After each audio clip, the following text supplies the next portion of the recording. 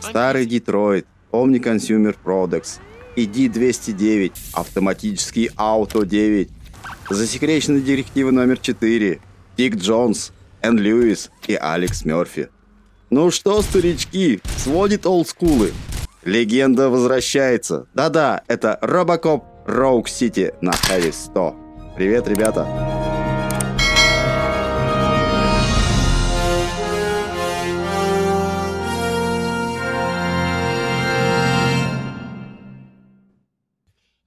Город прибыл какой-то криминальный авторитет по имени Новичок. Он готов сорить деньгами, что сразу вызвало внимание и активность местных преступников.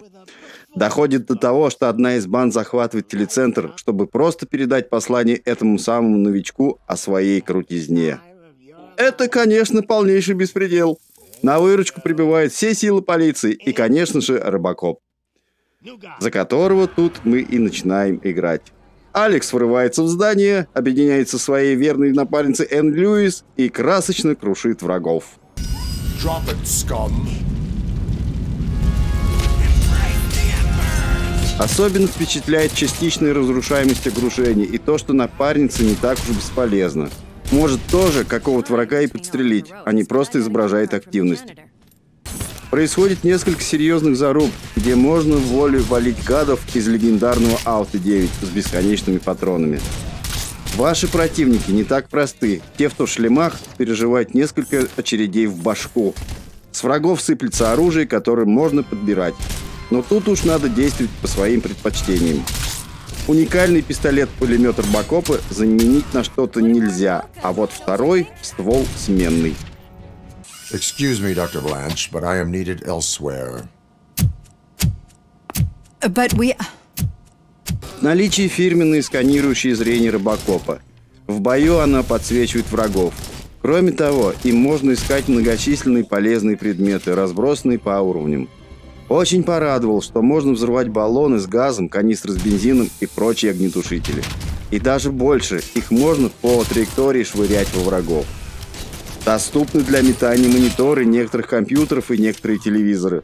Такой снаряд наносит удар гаденышем электричеством. Кстати, по телевизорам и мониторам можно сказать, что время действия игры где-то начало 90-х. Mrs. Lewis, we have rescued three hostages, one with a gunshot wound to the abdomen, requesting urgent medical assistance. Over. Супостаты не настроены на какой-либо проигрыш и активно работают по рыбакопу из всех стволов. Что интересно и достойно похвалы, Алекс достает оружие только во время боевых эпизодов.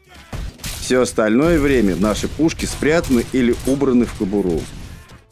Даже на самой низкой сложности в боях могут быть проблемы, ведь Робокоп все-таки постоянно получает урон от пули взрывов, который попадает в него.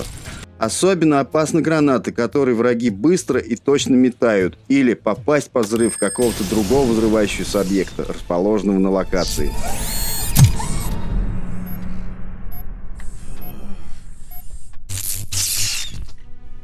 В телецентре мы познакомимся с важной механикой замедления времени. Когда рыбакоп выходит через закрытую дверь в помещении с противниками, то время сильно замедляется на несколько секунд, и можно быстренько перестрелять врагов.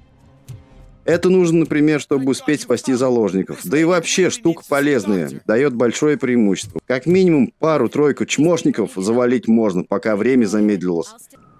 Идейно повторяется сценка из фильма, когда бандит берет женщину в заложницы. Но Алекса что-то клинит. Hey, no! Get me another one of those choppers, like the one that took Soot! You hear me? You work so hard, honey. Why don't you take some leave? We all could use a little break from this reality, don't you think? Wakey, wakey! I'm talking to you, Shiny! Stand back from that door, or I'll shoot her! I swear to nuke! I don't know what I would do if I ever lost you. You've got three seconds! Three! Our family is the only thing I need to be happy. Two! Are you fucking deaf?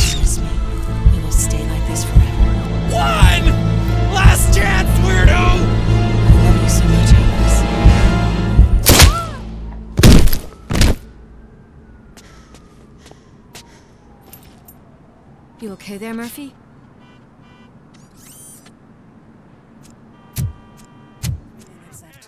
Мир игры разделен на несколько приличных по размеру локаций. Также игра преподносит сюрпризы в виде дополнительных миссий. Когда Робокоп взаимодействует с мелкими преступниками, то почти всегда все сводится к тому, чтобы понять и простить. Или наложить штраф. Причем предпочтительно понять и простить. Так повышается лояльность населения герою.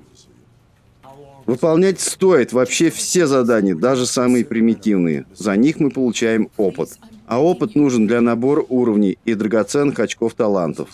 Например, никуда без дедукции. Это умение улучшает сканер Робокопа и позволяет находить более сложные улики, использовать их в расследованиях или же определять всякие тайные двери.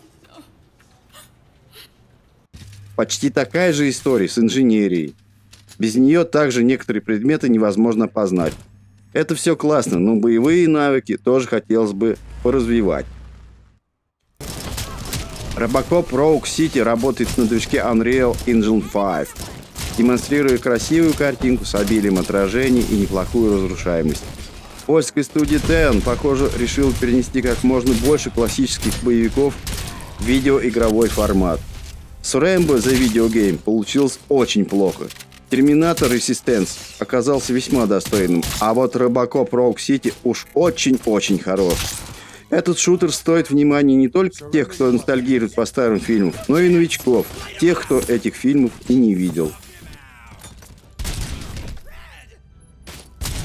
Самое главное, что вам точно понравится эта игра в плане атмосферы, как будто бы сделана с оглядкой на тот самый фильм 1987 года.